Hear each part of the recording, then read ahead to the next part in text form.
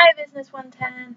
I chose to do the company that I work for, Goddard School of Mooresville, for my compensation package analysis. Uh, now, keep in mind these numbers are for this school specifically and not all Goddard schools, since Goddard is a franchise and pay and compensation in general are up to each individual franchise owner. To start out with, uh, I'll talk a little bit about starting pay. Starting pay is definitely not something that is set in this school for each role. It is based on what you bring to the table and what's currently going on in the building.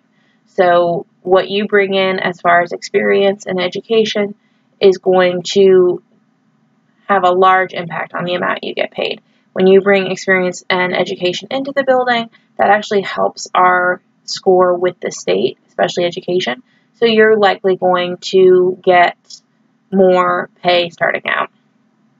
Um, but so that depends on you. It also depends on what you ask for when you come in. So the reality is, if you come in asking for $10 an hour, more than likely you're going to get what you ask for and not anything more. I'd say our starting pay varies from about $9 an hour all the way up to probably $14 an hour for the right person. So if you come in asking for 10, they're honestly probably not going to offer you 12 just based on you know wanting to give you more. They're going to give you a ask for. So you have to be very strategic about what you come in asking for um, in this field. Now, in some preschools, there are that are corporate run, there are formulas that determine how much somebody gets paid, and then it doesn't matter what you ask for. But on a lot of the franchises, what I found is that it very much so depends on what you come in asking for. Um, so that's kind of depending on you, but there are some things that depend on what's happening in the building as far as what the starting pay might be. So if you teach an age group that is in high need, for example, we are currently struggling to find two year old teachers. If you came to the school right now with any experience in education in two year olds, you'd probably get more than somebody who came in as a floater or who with experience in an age group that we didn't have a high need for. So it depends on the needs of the building. It also depends on where the average pay is in the building. So as that increases, our starting pay is going to also increase. They try to keep people fair because there's really nothing worse than the new person coming in and letting the cat out of the bag that they're making more than somebody who's been here for 10 years. That really can damage morale very quickly. So they try to balance that pretty well.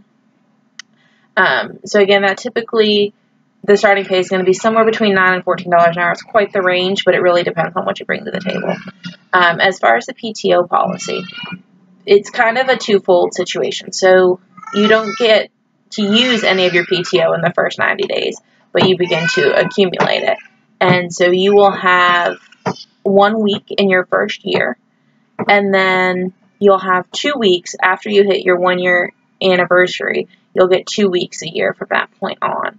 Um, I actually was just in a quite lengthy meeting the other day, or on Friday, about PTO with my management team and really trying to stress the importance of offering additional PTO as people reach different milestones, um, just to encourage longevity. Because at this point, the way our PTO structure is set up, you hit that one year mark, you get two weeks from that point out, and it doesn't increase. So there's almost no no PTO reason to continue to stay. So that was a, a big focus of our meeting the other day.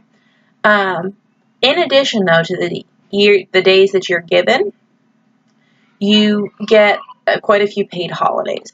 So right off the bat, you get the week of Christmas off, and that is all paid. So that's going to be anywhere from five to six days, depending on the year and how the calendar falls. You're also going to get six additional other paid holidays, which are Good Friday, Memorial Day, Fourth of July, Labor Day, Thanksgiving, and then the day after Thanksgiving.